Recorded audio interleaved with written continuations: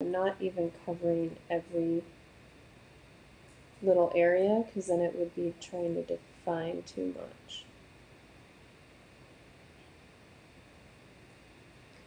But that just kind of adds just a little, that little bit more definition to the palm trees that really help brings them home.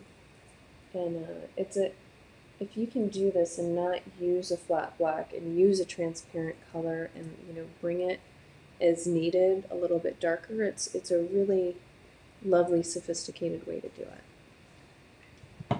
So. Um, D, the the color I mixed with ultramarine, it was Van Dyke Brown. So here we go, y'all. I think this is this was a lovely way to. Um, oh, actually, nope, it's almost dry. I'm gonna fix that. See, you know what I was saying about you can't can't ever mess yourself up. I come back in with that.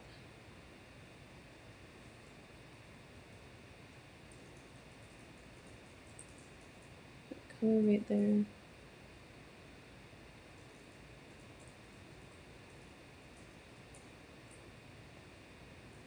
I'm just still trying to cover up that uh, giant blue splatter that I was not trying to do.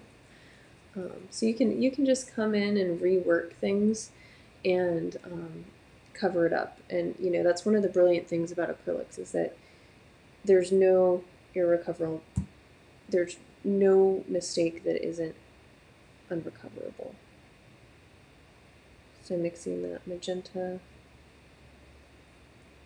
and orange and yellow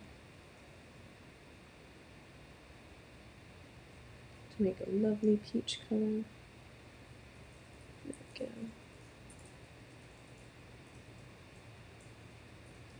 There we go.